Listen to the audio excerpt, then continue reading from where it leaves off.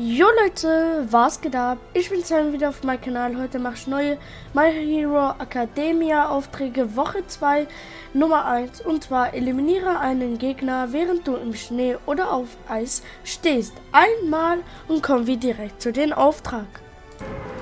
Was wir für den Auftrag brauchen, ist irgendeine Waffe und wir müssen hier im Schneegebiet. Also ihr könnt den Auftrag hier nicht abschließen, weil ihr müsst auf Schnee oder auf Eis stehen. Das hier ist Eis und das hier ist Schnee. Ihr schnappt euch egal welche Waffe, wirklich. So, es kann Pistole, es kann Bogen, egal was. Schnappt euch eine Waffe, steht einfach auf Eis oder auf Schnee und dann müsst ihr einfach einen Gegner eliminieren, Leute.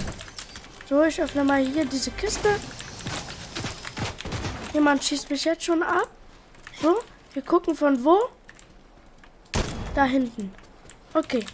Ich würde sagen, wir gehen einfach und pushen ihn. Okay. Da ist noch einer.